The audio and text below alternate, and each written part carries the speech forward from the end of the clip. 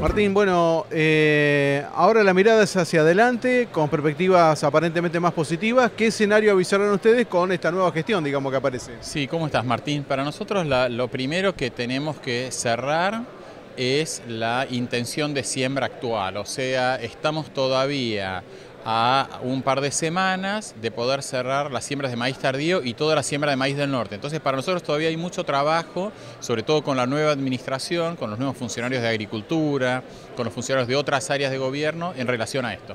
Bueno, eh, o sea que el ánimo va a cambiar, esto, este dibujo va a cambiar un poco, ¿o no todavía? Sí, está cambiando todas las semanas. La realidad es que está cambiando todas las semanas. La intención de siembra va cambiando. La gente va analizando sus potreros, va analizando su empresa y viendo de qué manera puede aumentar la producción. Y nos gustaría también, y estamos viendo en otros sectores, también aumentos en la producción de carne, recuperación en la producción de leche, reordenamiento en las otras industrias, no molienda seca, etanol este, pollos, cerdos. Creemos que toda la cadena de valor está en un momento que tiene que arrancar.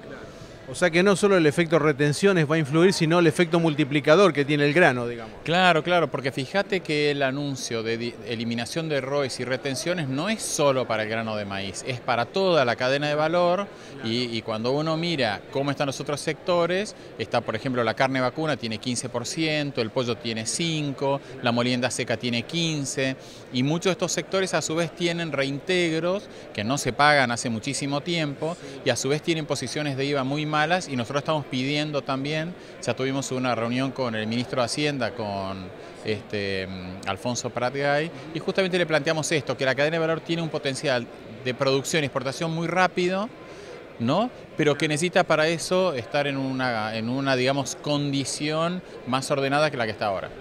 Martín, no sé si tenés el dato, la, esta etapa de siembra que queda, ¿qué porcentaje de la campaña, digamos? ¿Está Y- mitad, está dividido o no? Y ya a esta altura deberíamos estar un poquito por debajo de la mitad, o sea que quizás está faltando alrededor del 60 o 65%, muchísimo todavía porque este año la siembra de maíz temprano fue muy mala y hay un foco muy fuerte en el maíz tardío.